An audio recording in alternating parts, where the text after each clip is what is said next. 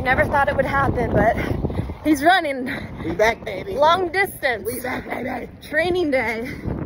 And he runs fast too. Whoa. A shocker. Water.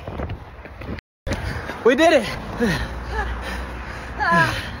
Good job. Holy shit. How you feel?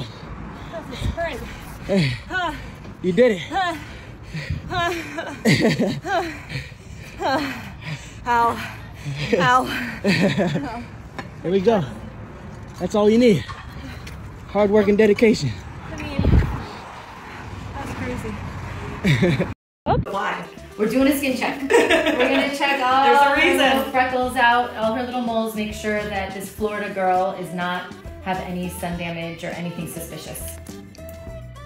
All right, so we're looking for moles that are irregular in size, shape, color. There's some A, B, C, D rules. A is for asymmetry, B is for borders, C is for color, D is for diameter. We'll go by like pencil eraser size. E is for evolving. So if something is changing or new, do you have any new freckles or anything that you were It's not of- a freckle, but what's that? this little new guy here. Yeah. This almost looks like a little skin tag. He doesn't worry me. And I Can you don't really it? see yeah.